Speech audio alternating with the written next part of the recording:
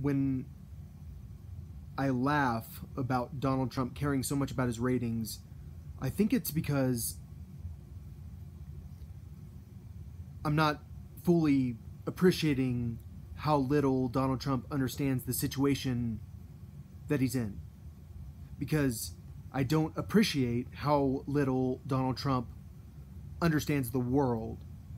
And on The Walking Dead TV show, um, are there male leaders who are not like Rick? There are. And I feel like Donald Trump can lead in certain circumstances, but in other circumstances, he's not as good of a leader, specifically because, especially in this circumstance, he doesn't understand the world. And that's my big concern with Donald Trump is that he has no idea what's going on. It's kind of like Homeland. Who's watching Homeland?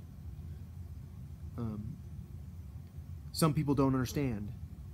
And um, but as I was watching Homeland, I was thinking, I do understand, and I'm not really concerned with threatening a nuclear power, but I also don't have to threaten you.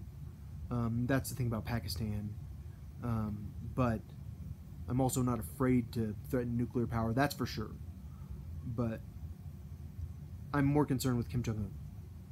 Because all I, I, I, I have not heard about him doing that many missile tests in such a short amount of time, bragging so much about how he's got big launchers like he's gonna hit the United States. It's like, all right, dude.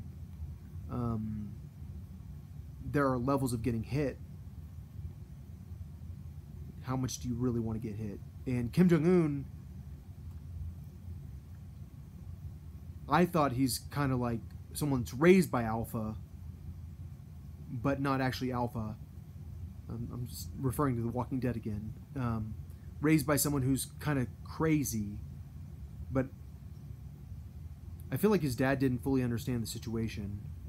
Um, and he does, so you, you think he's not crazy, but then you realize he wasn't chosen by anything but his birth. And leaders, a lot of them are Negan. Um, there aren't that many Ricks, but they're out there. Um, not many Carols, very, very, very few Carols. Carol is a very specific person because she um, came out of a very specific situation. So she's like a woman that is damaged enough to lead in that situation. But, and that, that's why when I'm talking about Judith, I, I think that like normal women aren't psychotic or aren't psychotic enough to be leaders like men. Men just have like a, we have like a blowing up thing type pers- personality. It's just, just the way that men are.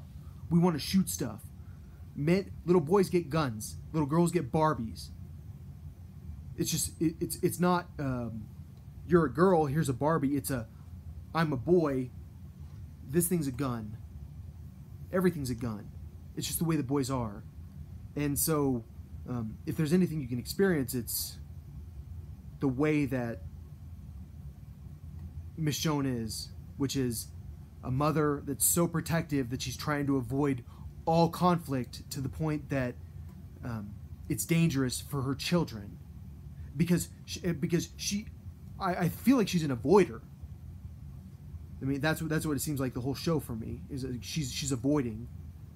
But she's the real leader I think but I mean probably not. I mean she's not but she is kind of. But um Donald Trump, he's almost too nice, but he's also just he's the ratings guy. But that's not funny. That's what I was trying to say. It's it's really not funny. It's just it's it really isn't funny that he's like that.